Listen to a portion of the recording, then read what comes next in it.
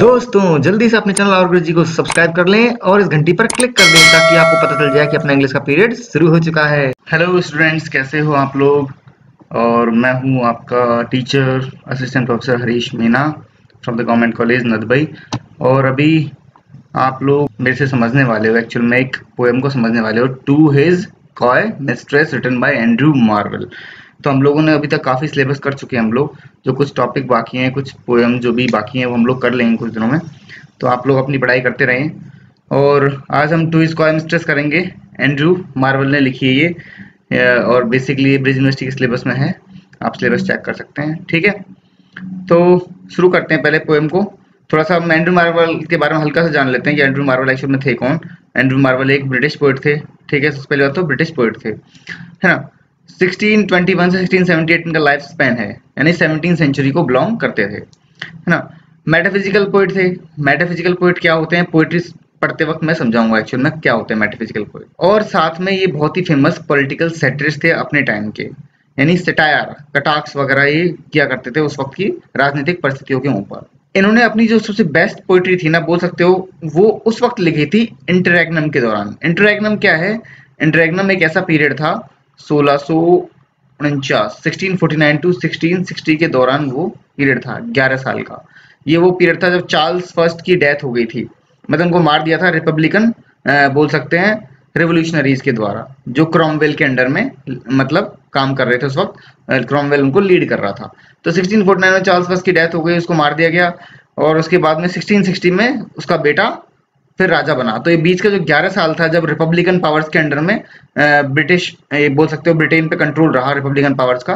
तो वो टाइम जो था ना, उस 11 साल के पीरियड को हम इंटरैक्नम बोलते हैं। इसी दौरान, क्योंकि ये खुद भी जो थे ना एंड्रू मार्वली भी पॉलिटिकली एक तरह से जुड़े हुए थे। ये कह सकते हो आप सिंहासन के साथ में जुड़े हुए थे एक तरीके से। इनडायरेक्टली डायरेक्टली नहीं, पर इनडायरेक्टली जुड़े हुए थे। तो इन्होंने इस दौरान, इस इंटरेक्शन के पीरियड के दौरान अपनी काफ़ी बेस्ट पोएट्री लिखी, बोल सकते हो, जिनमें से आप, जो आज पढ़ने वाले हैं टूज कॉल मिस्टर्स ये भी उसी टाइम की लिखी गई पोएम है। हाँ पब्लिश ये बाद में हुई थी। पब्लिश ये सिक्सटीन एटीज में जाके पब्लिश हुई थी, है ना? तो एक तरह एक तरह कहते हैं इनकी डेथ के बाद में पब्लिश हुई है पोएम पोस्टमेसली पब्लिश हुई है तो ये थोड़ा सा बेसिक आइडिया एंड्रू मैरल वैसे मेटाफिजिकल पोइट है, जैसे मैंने बताया। अभी समझाएँगे हम मेटाफिजिकल पोइट होते कौन कौन है और किस तरह के होते हैं। तो जब पोएम पढ़ेंगे तो उसके साथ साथ में मेटाफिजिकल पोइट्री के आपको मैं फीचर्स बताता चलूँगा कि कैसे कैसे क्या क्या होता है मेटाफिजिकल पोइट्री के अंदर। ठीक है तो चलो हम आगे बढ़ते हैं। टेक्स्ट अपना यहाँ पर है। Had we but world enough in time line की मतलब पोइट्री की जो पहली लाइन है ना, कि had we but world enough in time this coyness lady word no crime तो देखो राइटर स्ट्रेट अवे। इसमें स्ट्रेट अवे एक चीज़ इस्तेमाल की गई है, वो है हाइपर बली क्या इज़ वो है? हाइपर बली या फिर एग्जेजरेशन बड़ा चढ़ा कोई चीज़ दिखाते हैं ना। हाइपरबली का मतलब क्या होता है? कोई चीज़ बड़ा चढ़ा कर दिखाएँ। इस पोएम में हाइपरबली भरी हुई है कूट कूट के भरी हुई है, मैं बताऊँगा कैसे कैसे तो देखो मेटाफिजिकल पोइट्री का पहला फीचर हाइपरबली होता है।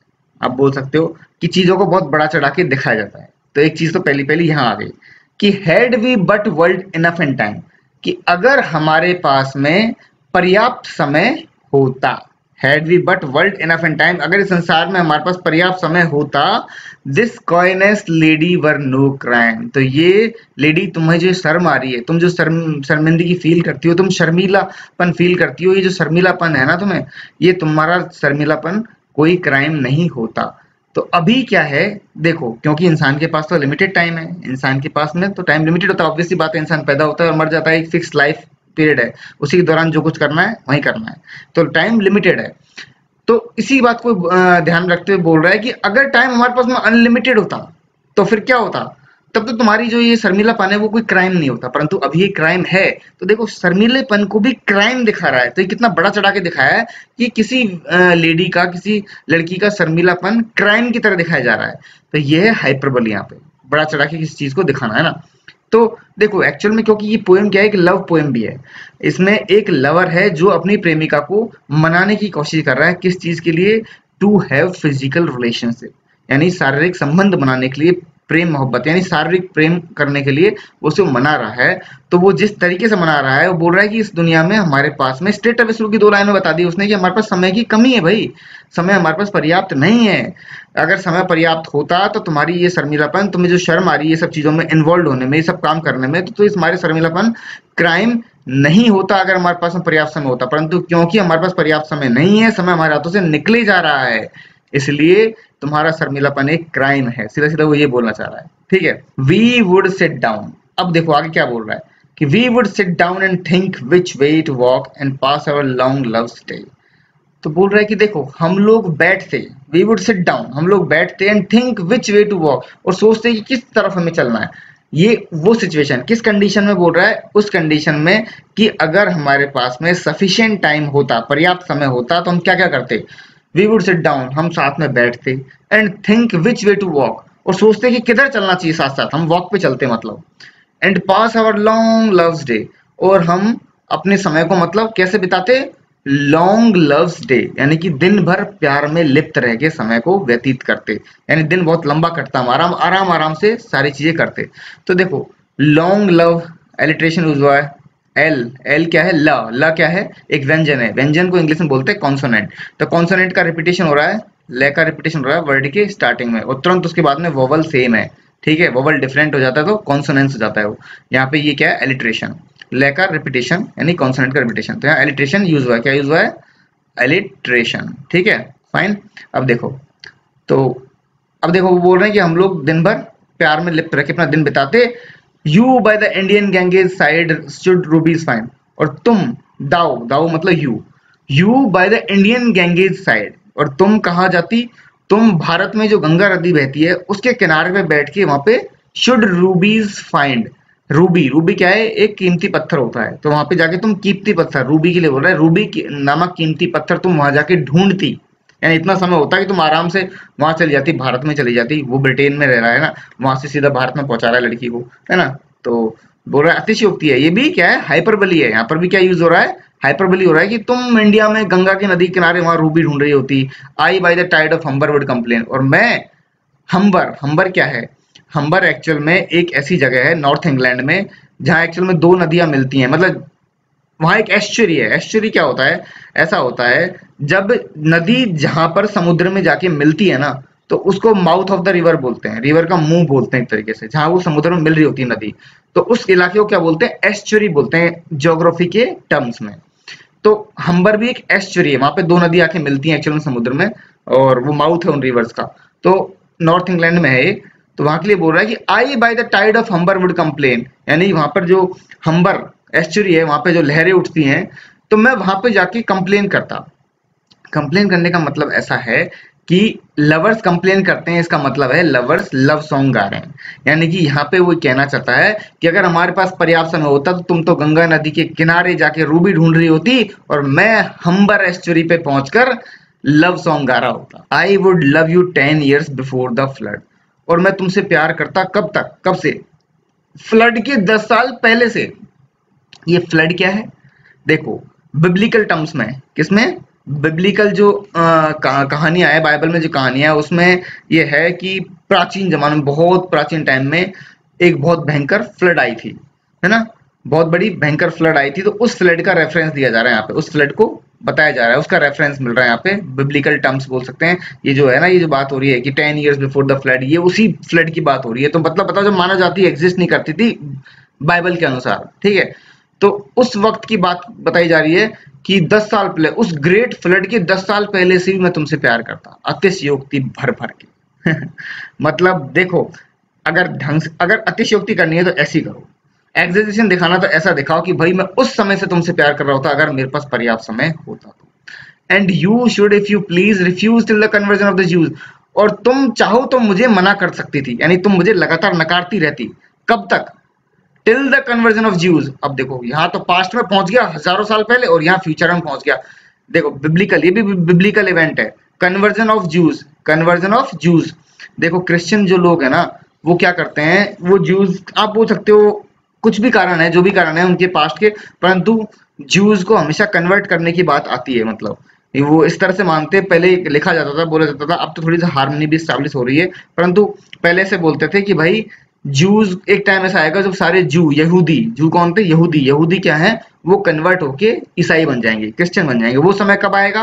वो समय भविष्य में आएगा। एक ऐसा समय होगा भविष्य में जब सारे जू कन्वर्ट होके ईसाई बन जाएँगे। तो उस समय की बात कर रहा है। ये भी बाइबल में ऐसा समय की बात हो रही है कि ऐसा समय कब आएगा? तब वो उस वक्त ही आएगा जब सारे के सारे एक तरह से बोल सकते हो ना कह सकते हैं गॉड का डायरेक्ट इंटरफेरेंस होगा एक तरीके से उस समय पे। भगवान का सीधा हस्तक्षेप होगा, सारी मानव जाति खत्म होने कगार पे होगी, सबके सब मर के आत्मा के रूप में भगवान सामने खड़े हो जाएँगे मतलब ऐसा बाइबल में लिखा हुआ है।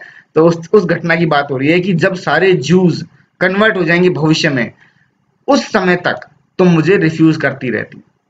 तो देखो, दो अतिशयोक्ति सीधी सीधी दो हाइपरबली टू एग्जेजरेशन यहाँ पर देखो। एक तो ये कि मैं तुमसे कब से प्यार करता पास्ट में जब वो ग्रेट फ्लड आई थी, उससे भी दस साल पहले से। ठीक है? और तुम मुझे कब तक नकारती रहती? मतलब जब चाहे, चाहो तो नकारती रहती। कब तक? भविष्य में, आज के समय से भविष्य में जब जूस सारे कन्वर्ट हो जाएँगे। तब तक। यानी कि अगर हमारे पास प्रयास होता था, इतना लंबा समय तक हम हमारे लव टशल को चलने देते। हमारे जो बोलते लव टशल मतलब प्रेम के बीच में जो इनके बीच में वो चल रहा है ना, एक तरीके से इनका प्रेम प्रसंग, वो तब तक चलता रहता। पास्ट में ग्रेट फ्लड के दस साल पहले से भविष्य में जू जब कन्वर्ट होंगे तब तक। ठीक है? My vegetable love should grow vaster than empires and more slow और जो मेरा वेजिटेबल लव है, देखो यहाँ पे जो है ना, ये टर्म है ना वेजिटेबल लव इसका अर्थ क्लियर नहीं है, परंतु इसका जो मोस्ट प्रोबेबल मीनिंग ये निकलता है फ़िज़िकल लव यानी कि शारीरिक प्रेम, कि जो मेरा फ़िज़िकल लव है ना, वो बढ़ता रहता, तब वास्टर देन एम्पायर साम्राज्य से बड़ा हो जाता एंड मोर स्लो और धीरे धीरे बढ़ता। यानी एक्चुअल में लव मेकिंग के बारे में एक बात कही जाती है कि slow love making is more actual में सेंसुअस यानी अपनी इंद्रियों को ज़्यादा फील करवाती है स्लो लव मेकिंग तो उस चीज़ की बात हो रही है कि मेरा जो वेजिटेबल लव है, मेरा जो फ़िज़िकल लव है, वो साम्राज्यों से भी बड़ा हो जाता और बोल सकते हो an hundred years should go to praise और बताओ, कैसे साम्राज्य से बड़ा हो जाता? देखो, वो बता रहा है कि मेरे सौ साल तो इस चीज़ में व्यतीत होते किस चीज़ में? Hundred years should go to praise thine eyes तुम्हारी आँखों की प्रशंसा करने में मेरे सौ साल व्यतीत होते बता रहा है कि मेरा जो लव है वो कितना ग्रो करता, मेरा लव साम्राज्य से बड़ा होता मतलब इतना बड़ा हो जाता कि इतने सालों तक तो चलता कि मैं सौ साल तक तो सिर्फ़ तुम्हारी आँखों की प्रशंसा करता रहता। And on thy forehead gaze two और बोल रहा है कि आँखें प्लस ललाट। यानी सौ साल तक तुम्हारी आँखों की प्रशंसा करता और तुम्हारे ललाट को घूरता रहता, उसको देखता रहता। यानी मेरे पास अगर पर्याप्त समय होता तो मैं इतना समय तो सिर्फ़ इस चीज़ में व्यतीत करता। मतलब गजब, देखो इंसान के पास फालतू समय हो तो कोई प्रोडक्टिव काम नहीं करेगा। बंदा अपनी गर्लफ्रेंड की आँखों की तारीफ़ कर रहा है, उसके ललाट की तारीफ़ कर रहा है, बोल रहा है कि मैं सौ साल तो इसमें व्यतीत कर देता, हमारी तो ज़िंदगी नहीं होती सौ साल की। चलो ठीक है, आगे बढ़ते हैं। खैर two hundred to adore each breast और दो सौ साल लगा देता किस चीज़ में? प्रत्येक ब्रेस्ट को प्रशंसा करने में। यानी कि जो टू ब्रेस्ट होती हैं, दोनों में से एक एक स्तन, यानी स्तन ब्रेस्ट मतलब स्तन एक एक स्तन की बोल सकते हो तारीफ़ करने में मैं 200 साल लगा देता। इसको कोई गलत चीज़ तरह मत लेना, कारण ये है देखो लिटरेचर में मैक्सिमम 50 परसेंट पोइट्री तो लव पोइट्री है है ना? और लव पोइट्री में चीज़ें आती हैं तो आप इसे लिटरेचर स्टूडेंट की तरह पढ़ें, इसमें कोई गलत चीज़ ना लें। मैं एक टीचर की तरह आपको पढ़ा रहा हूँ कि क्या हो रहा है मतलब किस तरह से पोइट ने लिखा है, किस तरह से उसने तारीफ़ करी है, और आप उसे एज ए स्टूडेंट एक लिटरेचर की स्टूडेंट की तरह समझें, ठीक है? तो देखो 200 साल उसकी हर ब्रेस्ट यानी 200 प्लस 200 400 साल। 400 साल तो देख, बोल सकते 200 एक ब्रेस्ट में लगाएगा तारीफ़ करने में तो दूसरी ब्रेस्ट के लिए 200 और तो 400 साल तो उसकी ब्रेस्ट की तारीफ़ करने में लगा देगा तो ठीक है 200 साल उसने आँखों की और ललाट की तारीफ़ करने में निकाल देगा। सॉरी सौ साल सौ साल आँखों की और ललाट की तारीफ़ निकाल देगा, और दो, और 200 200 400 साल इसमें निकाल देगा। मतलब देखो, इतना अगर इस पर अनगिनत टाइम होता तो ये इतना टाइम यहाँ लगाता उसकी तारीफ़ करने में। और एक चीज़ मैं बताता हूँ पोएट्री में जब लड़की के फ़िज़िकल पार्ट्स यानी शारीरिक अंगों की जब बोल सकते हो तारीफ़ की जाती है या फिर उसका डिस्क्रिप्शन दिया जाता है, विवरण दिया जाता है, उसको बोलते हैं ब्लेजन क्या बोलते हैं? ब्लेजन तो यहाँ पर ब्लेजन ही यूज़ हो रहा है एक तरीके से। ठीक है? But thirty thousand to the rest और बाकी बॉडी के जितने भी अंग है ना, उनकी तारीफ़ करने में तीस हज़ार साल। मतलब सौ, अब सैकड़ों की बात ही नहीं करनी हमको। छोटी मोटी चीज़ों की बात नहीं करते हम सौ साल तो कितना सा होता है यार? थोड़ा सा होता है सौ साल। दो सौ कितना सा होता है? थोड़ा सा होता है। दो सौ, चार सौ, चार साल ही तो है। तीस हज़ार साल बाकी अंगों में भी तो लगाऊँगा मैं। तो मतलब तीस हज़ार साल वो rest rest of the body parts में उसकी तारीफ़ करने में बिता देता, अगर उसके पास में अनगिनत समय होता तो। देखो, ये सब है हाइपरबली ये क्या है? ये एग्जिस्टेशन हाइपरबली तो ये सब किसके पार्ट हैं? ये सब मेटाफिजिकल पोइट्री के पार्ट होता है हाइपरबली यूज़ होती है, ठीक है? An age at least to every part तो बोल रहा है, हर अंग के लिए एक युग लगा देता मैं तो। अब देखो, साल की बात खत्म हो गई, हज़ारों सालों की बात खत्म हो गई अब सीधे युग पे आ गया हमारा पोइट वो बोल रहा है an age at least to every part एक एक युग लगा देता है, एक एक हिस्से पर। And the last age should show your heart और लास्ट आखिरी जो एज आखिरी जो युग हो ना, उसमें तुम्हारे दिल पे आता। तुम्हारे दिल की बात कहता तुम्हारे दिल को दर्शाता दुनिया को कि तुम्हारा दिल कितना अच्छा है। For lady you deserve the state अब देखो लेडी तुम इस साम्राज्य की मतलब हक हकदार हो डिजर्व करती हो इस स्टेट या किस साम्राज्य की बात हो रही है? उसके शरीर की बात हो रही है तुमने जो ये शरीर रूपी साम्राज्य तुम्हारे पास मेहनत ना सुंदर तुम इसकी हकदार हो तुम डिजर्व करती हो इस, इस साम्राज्य का। Nor would I love at lower rate परंतु मैं भी कोई कमतर प्यार नहीं करता तुमसे। मैं भी तुमसे बहुत ज़बरदस्त प्यार करता हूँ। कोई लोअर रेट कोई छोटा मोटा प्यार नहीं करता हूँ। मैं बहुत तगड़ा प्यार करता हूँ। तो पोएट ने ये चीज़ें एक्सप्लेन कर दी साफ़ साफ़ ज़ाहिर कर दी कि वो किस तरीके से उससे मोहब्बत करता है और वो कितना कितना समय ले लेता अगर उसके एक एक अंक को वो डिस्क्राइब करने बैठता, अगर उसके पास में बहुत सारा समय अनलिमिटेड समय होता तो। तो देखो अब हम आप यहाँ तक हमने कर लिया है। अब इसमें एक दो चीज़ें मैं बताता हूँ। फिगर ऑफ़ स्पीच जो मैंने छोड़ दी जो अब एक साथ बताता हूँ मैं। थर्टी थाउज़ेंड थर्टी थाउज़ेंड, था था। था क्या होता है? व्यंजन होता है। तो उस हिसाब से था था रिपीटेशन हो रहा है तो एलिटेशन होना चाहिए, परंतु एलिटेशन नहीं है। था के तुरंत बाद में क्या आ रहा है? आई ववल और ओ ववल ववल चेंज हो गए हैं। तो यहाँ पर क्या यूज़ हो रहा है? थर्टी थाउज़ेंड में इस्तेमाल हो रहा है कॉन्सोनेंस ठीक है? अब देखो, इसमें कन्वर्जन ऑफ़ ज्यूज एक तो एक ये चीज़ और एक है ten ten years before the flood तो दो इंसिडेंट बताए गए हैं। दो इंसिडेंट बताए गए हैं। दोनों इंसिडेंट की तुलना की गई है खुद के लव मेकिंग एक्सटेंट से। यानी कि वो किस हद तक, कब तक वो उससे प्यार करता है और वो कब तक उसे रिफ्यूज करती। मतलब उसके प्यार करने का समय और उसका रिफ्यूज करने का मतलब लिमिट दोनों कब से प्यार करना शुरू करता और कब से वो रिफ्यूज कब तक वो रिफ्यूज करती रहती। तो इन दोनों का तुलना की गई है। इन दो इंसिडेंट से यहाँ पर ये यूज़ हो रहा है मेटाफिजिकल कंसीट तो देखो मेटाफिजिकल पोइट्री में मेटाफिजिकल कंसीट बहुत पाई जाती है। तो इस तरह से मेटाफिजिकल कंसीट है। मेटाफिजिकल कंसीट ऐसी होती है कि कि किसी इंसिडेंट की या किसी ऑब्जेक्ट की इस तरह से तुलना करना एक दूसरे इंसिडेंट ऑब्जेक्ट से जो कि एक्चुअल में उनका कोई तुलना हो ही नहीं सकती। मतलब आप सोचोगे कि इनकी तुलना कैसे हो रही है? ये तो बिल्कुल डिसिमिलर है बिल्कुल ही अलग है बिल्कुल ही एकदम अलग चीज़ है। इनकी तुलना आपस में कैसे हो रही है? तो वैसे तुलना की जा रही है। लव को उसके प्यार करने की मतलब आ, बोल सकते हैं कैपेसिटी को या बोल सकते हैं उसके प्यार की हद को किससे एक्सप्लेन किया है? ग्रेट फ्लड से। और उसके रिफ्यूज करने की हद को किससे एक्सप्लेन किया है? तुलना की गई एक तरीके से कन्वर्जन ऑफ़ ज्यूस से। तो ये मेटाफिजिकल क्या है? कंसीट है।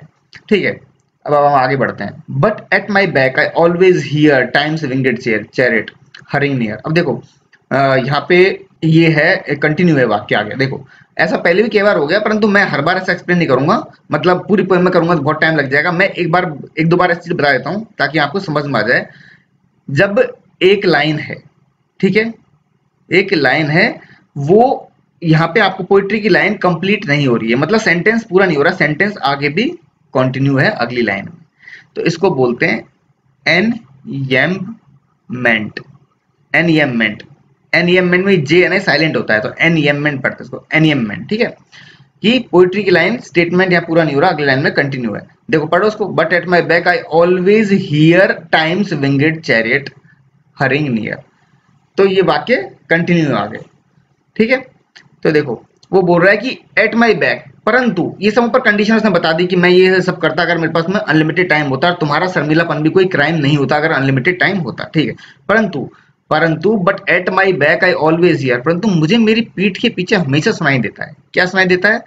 Time's winged chariot hurrying near समय का घोड़ा पीछे पीछे दौड़ रहा है। उसके दौड़ने की आवाज़ मुझे लगातार सुनाई देती है। Time's winged chariot. ये क्या हो गया है? ये है। टाइम इन समय का घोड़ा।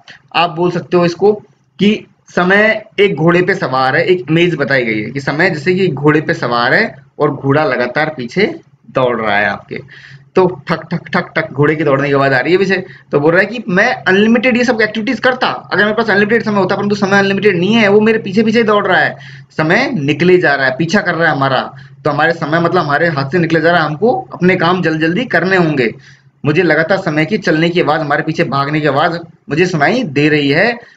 And yonder all before us lie deserts of vast eternity और देखो, दूर हमारे सामने क्या पड़ा हुआ है? डेजर्ट्स ऑफ़ वास्ट एटर्निटी क्या है? डेजर्ट्स ऑफ़ वास्ट एटर्निटी यानी कि बोल सकते हो रेगिस्तान पड़ा हुआ है। एक बहुत विशाल का रेगिस्तान पड़ा हुआ है। ये एक्चुअली में मेटाफर इस्तेमाल हुआ है। मेटाफर किसके लिए इस्तेमाल हुआ है? ओल्ड एज के लिए। ओल्ड एज या अनप्रोडक्टिव एज के लिए। ऐसा होता है क्योंकि देखो, प्यार मोहब्बत के लिए सिर्फ़ जवानी है, बुढ़ापा थोड़ी ना है। तो बेसिकली उसी के लिए बोल रहा है फ़िज़िकल लव के लिए स्पेशली फ़िज़िकल लव के लिए सिर्फ़ जवानी है, बुढ़ापा नहीं है। तो बोल रहा है कि आगे समय में जैसे जवानी बीत जाएगी तो हमारे सामने क्या है? एक पूरा बुढ़ापे रूपी, बोल सकते हो, रेगिस्तान पड़ा हुआ है। डेजर्ट्स ऑफ़ वास्ट एटर्निटी हमारे सामने पड़ा हुआ है। Thy beauty shall no more be found और तुम्हारी सुंदरता होगी ना, वो वहाँ पर पाई भी नहीं जाएगी। मतलब बुढ़ापे में जाके तुम सुंदर नहीं रहोगे, सीधी सी बात है। तो अभी सिर्फ़ जवानी का समय है। सामने मुझे दूर वो दिखाई पड़ रहा है। क्या दिखाई पड़ रहा है? मुझे रेगिस्तान नज़र आ रहा है, बुढ़ापे का रेगिस्तान। वो रेगिस्तान जिसमें मतलब तुम सुंदर नहीं रहोगी। Thy beauty shall no more be found उस, वहाँ पर तुम्हारी सुंदरता गायब हो जाएगी। तुम उस वक्त सुंदर नहीं रहोगी nor in thy marble vault shall sound my echoing song और देखो, यहाँ तक कि उसने ये भी इमेजिन कर लिया है कि तुम्हारे मार्बल वॉल्ट यानी तुम भविष्य में फिर मर भी जाओगे। और तुम्हें दफना दिया जाएगा एक तरीके से। मार्बल वॉल्ट में मार्बल के एक मतलब ताबूत में दफना दिया जाएगा। Shall sound my echoing song और उसमें बोल सकते हो कि तुम्हारे उस ताबूत के अंदर मेरा जो गाना है ना, मेरा गीत, प्रेम गीत है, वो भी सुनाई तुम्हें नहीं पड़ेगा।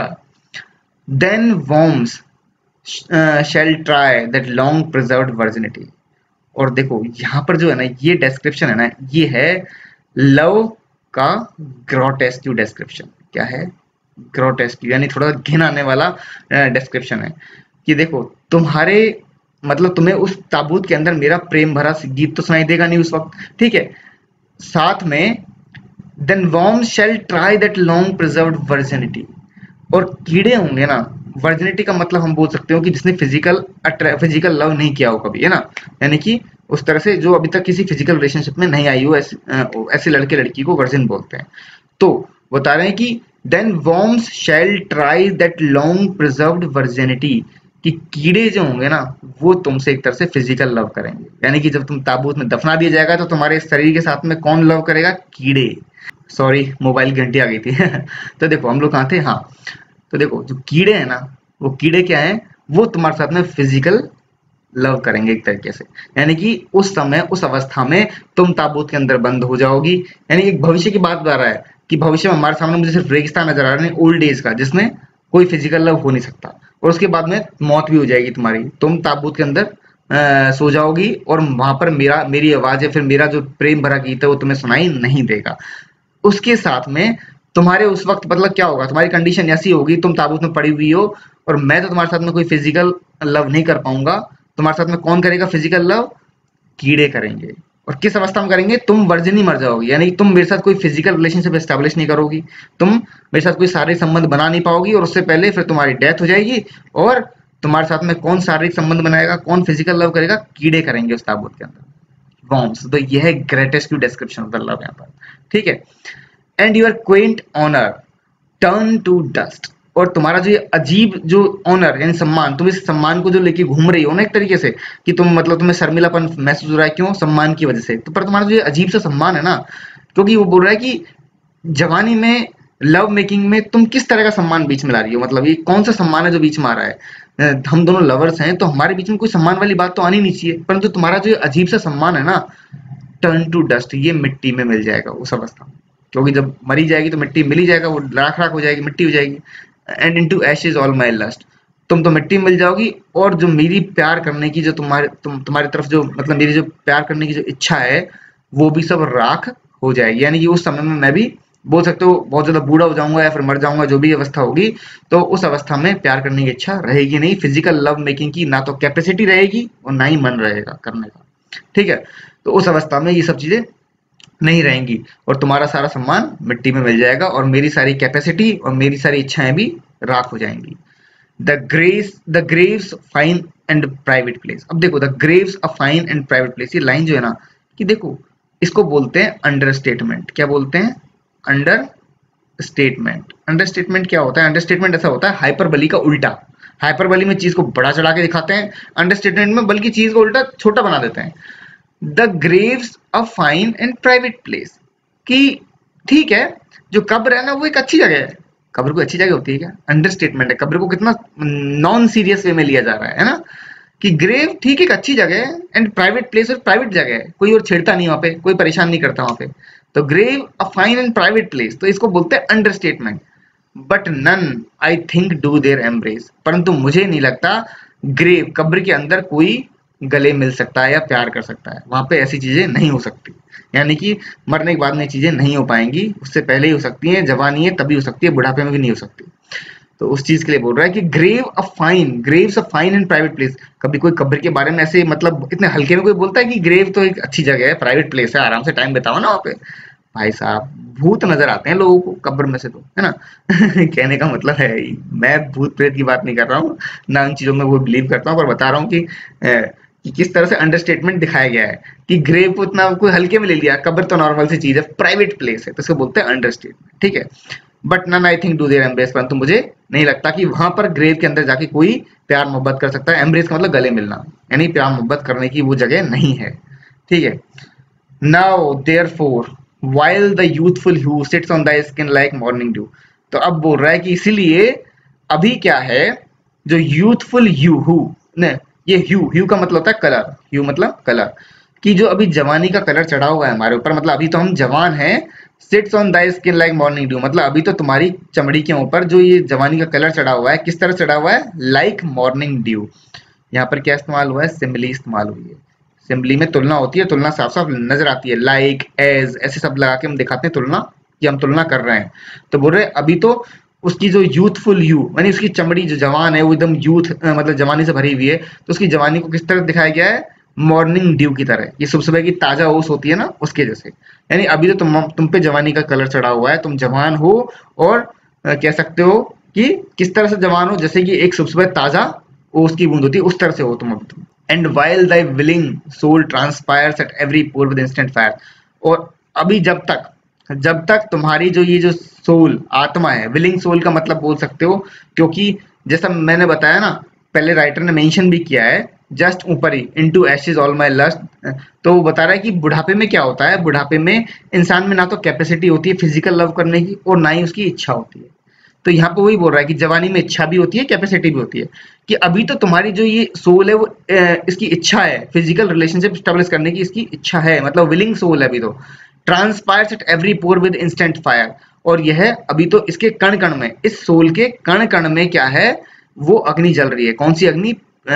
बोल सकते हो फायर ऑफ़ लव मेकिंग प्यार करने की अग्नि अभी तो प्रज्वलित हो रही है, अंदर जल रही है, सोल के कण कण में जल रही है। Now let us sport us while we may तो अभी तो हम लोग लेट अस स्पोर्ट स्पोर्ट्स खेल, किस खेल की बात हो रही है? खेल की बात हो रही है लव मेकिंग की। कि अभी तो हम ये जो लव मेकिंग का खेल है ना, वो खेल सकते हैं।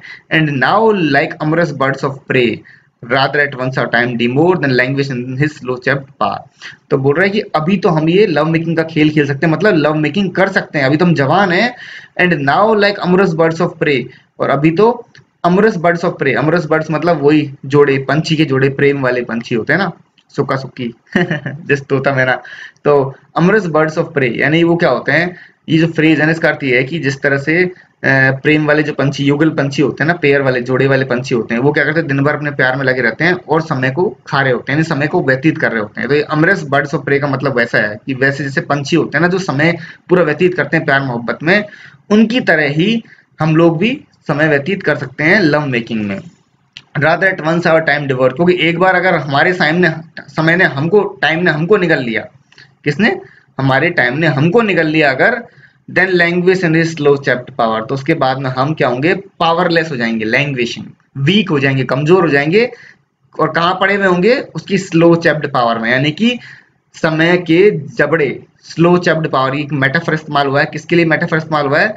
समय के जबड़ों के लिए टाइम की पावर के लिए। कि टाइम अगर अपने जबड़ों में हमको फंसा लेगा, यानी एक तरह से टाइम हमको कैप्चर कर लेगा, पकड़ लेगा, जकड़ लेगा तो हम पावरलेस हो जाएँगे, बिल्कुल। हम निशक्त हो जाएँगे हमारे पास कोई शक्ति नहीं बचेगी और हम कमज़ोर हो जाएँगे उसके बाद हम कुछ नहीं कर पाएँगे। तो ये स्लो चैप्ट पावर एक मेटाफर है किसके लिए? टाइम की पावर के लिए टाइम की शक्ति के लिए। ठीक है? Rather at once a time devour the language is uh, slow chat power let us roll all our strength and all our sweetness up into तो अब देखो वो बोल रहा है इसलिए समय है अभी तो जवान है हम लोग अपनी सारी स्ट्रेंथ को इकट्ठा करते हैं और सारी मोहब्बत को इकट्ठा करते हैं अप इनटू वन बॉल यहाँ पर ये फ़िज़िकल लव की बात हो रही है। यहाँ पर सीधा सीधा ये सेक्स की बात कर रहे हैं कि हम लोग फ़िज़िकल लव स्टैब्लिश करते हैं। अपनी सारी शक्ति जवान है, हमारी सारी शक्ति लगा के हम फ़िज़िकल रिलेशनशिप स्टैब्लिश करते हैं and tear our pleasures with rough strife through the iron gates of life और अपना जो प्लेजर है, जवानी के जो आनंद है, उनको हम फाड़ के निकाल लेंगे। एंड टीयर यानी कि समय के पंजों से फाड़ के निकाल लेंगे। Rough strife to the iron gates of life यानी इस जीवन में जितना भी संघर्ष हो, जीवन के आयरन गेट्स ऑफ़ लाइफ यानी जीवन के जो लोहे के दरवाजे हैं ना, उनको खोल के, तोड़ ताड़ के हम अपने लिए प्लेजर निकाल लेंगे। प्लेजर प्राप्त कर लेंगे, आनंद प्राप्त कर लेंगे। अभी तो जवानी है, हमारे पास शक्ति भी है और इच्छा भी है। दोनों चीज़ें हैं। यानी पावर भी है कैपेसिटी भी है प्लस विलिंगनेस भी है। दोनों चीज़ें हैं। इसलिए अभी तो हम जवानी में क्या है, ज़िंदगी के बोल सकते हो, सारी मुसीबतों को पार, पाके उनसे हम लोग अपना प्लेजर इकट्ठा कर सकते हैं, हम प्लेजर प्राप्त कर सकते हैं, आनंद प्राप्त कर सकते हैं। किसका आनंद? फ़िज़िकल लव का। Thus though we cannot make our sun stand still yet we will make him run तो देखो, ये बात सच है कि हम अपने सूरज को खड़ा नहीं कर सकते स्टैंड स्टिल क्योंकि सूरज को खड़ा करने का मतलब है समय। Make our sun stand still ये जो है ना make our sun stand still ये समय की बात हो रही है। ये भी मेटाफर इस्तेमाल हुआ है किसके लिए? टाइम के लिए ही मेटाफर हुआ है। ठीक है? कि हम अपने समय को खड़ा नहीं कर सकते मतलब समय को रोक नहीं सकते हैं। हम समय को क्या नहीं कर सकते? रोक नहीं सकते। ये बात सच है कि हम अपने समय को रोक नहीं सकते। Yet we will make him run परंतु हम उसे भगा तो सकते हैं। भगाने का मतलब यही है कि हम अभी लगातार जो समय हमारे पीछे दौड़ रहा है, वो हमको कैप्चर करने की कोशिश कर रहा है। कैप्चर कैसे कर लेगा? अगर हम अपने काम टाइम पे नहीं करेंगे तो समय हमको पकड़ लेगा, समय हमसे आगे निकल जाएगा। तो हम अपने काम टाइम टाइम पे करें ना तो हम अपने मतलब फ़िज़िकल लव करना है, जो भी प्यार, मोहब्बत करना है, जो भी जवानी में टाइम समय व्यतीत करना है जिन कामों वो काम हम कर लें अभी तो समय हमको पकड़ नहीं पाएगा, हमारे पीछे पीछे भागता रहेगा और वो हमको कैच नहीं कर पाएगा। तो उसके लिए बोल रहा है कि we will make him run हम उसको अपने पीछे भगा तो सकते हैं कम से कम और हम उससे आगे चलेंगे, वो हमारे पीछे भागता रहेगा। तो ये इस चीज़ के लिए बोल रहा है कि हम समय को रोक भले ही नहीं सकते, परंतु उसे भगा तो सकते हैं। ठीक है? यहाँ भगाना का मतलब वो नहीं है कि दूर भगा दिया। वैसे भगाना नहीं होता एक्चुअल में। भगाने का मतलब है, समय तो पीछे ही भागेगा। परंतु हम उससे ज़्यादा स्पीड से भागेंगे, हम अपना काम टाइम पे करते चलेंगे तो वो हमारे पीछे से भागता रहेगा, परंतु हम वह पकड़ नहीं पाएगा। इस तरीके से बताना चाहते हैं राइटर तो पोएम हो गई पूरी। इसमें कई जगह देखो, जैसे मैंने बताया ना, अभी हम लोग जब इसका क्रिटिकल एप्रिसिएशन पढ़ेंगे ना, तब मैं और बताऊँगा, और भी फिगर ऑफ़ स्पीच इसमें इस्तेमाल हुई है कई जगह तो वो मैं फिर समझा दूँगा। अभी तो हमने डिस्क्रिप्शन ढंग से पढ़ लिया है, इसमें क्या क्या चीज़ें हैं। तो देखो, इसमें एक दो मैंने बताया था, जैसे मेटाफिजिकल पोइट्री के हाइपरबली हो गया मेटाफिजिकल कंसीट हो गया। फिर इसमें हम बोल सकते हैं, कुछ चीज़ें और होती है मेटाफिजिकल पोइट्री की, जैसे कि कार्ब डाइम देखो, एक टर्म होती है कार्ब डाइम जैसे कि मैं, ना थोड़ा सा मिटा देता हूँ अभी ये। फिर आपको जिसे लिख के समझा सकूँ यहाँ पे। थोड़ा सा मिटा देता हूँ। थोड़ा सा क्या, पूरा ही मिटेगा, जितना मिटा, जितना मिट जाए उतना ठीक है, देखो। देखो डाइम हमने एक चीज़ पढ़ी, क्या मेटाफिजिकल पोइट्री की? वो थी मेटाफिजिकल कंसीट ठीक है? मेटाफिजिकल कंसीड हो गया। फिर एक हमने दूसरा पढ़ा हाइपर बली क्या हुआ? हाइपर बली ठीक है अतिशयोक्ति फिर हम पढ़ते कार्प डाइम क्या है? कार्प डाइम कार्प डाइम क्या होता है? कार्प डाइम होता है कि सीज द डे बोलते हैं। यानी कि अभी समय है, अपना काम कर लो। ये उस तरह की पोएम है। कार्प डाइम पोएम है। होरेस अपनी पोएट्री में इस्तेमाल किया करते थे, ये थीम तो ये इस पोएम की थीम भी है। सीज द डे बोलते हैं इसको। मतलब अभी तो भाई जो जो चीज़ है ना, इसी दिन कर लो। यानी समय रहते अपना काम कर लो। उस तरह की पोइट्री है तो इसमें ये भी एक मेटाफिजिकल पोइट्री का फीचर है कार्ब डाइम ठीक है? फिर एक चीज़ और आती है वेट्स बुद्धि। किसकी बुद्धि? राइटर की बुद्धि। बुद्धि तो लगानी पड़ती है यार। मतलब किस तरह से थॉट्स को, किस तरह से आप बोल सकते हो, अचानक एक ऐसी इमेज दे दी, ऐसी कंसीट लगा दी, जो कि कुछ भी मतलब उसकी कोई तुलना नहीं हो सकती किसी से। वो तो मेटाफिजिकल कंसीट थी, परंतु उनको अप्लाई करने के लिए विट्स तो लगती है ना तो विट्स इसमें बहुत ज़्यादा यूज़ होती है। मतलब कब कैसी इमेज को किस दूसरी चीज़ से तुलना कर दी जाए, कब कहाँ पे कैसे थॉट को कैसे दूसरे थॉट के साथ में कंपेयर कर दिया जाए, ये विट्स है। और देखो, एक चीज़ और यूज़ हो रही है इसमें मेटाफिजिकल पोएट्री में ज़्यादा वो होती है यूनिफिकेशन ऑफ़ सेंसिबिलिटी क्या बोलते हैं? Unification unification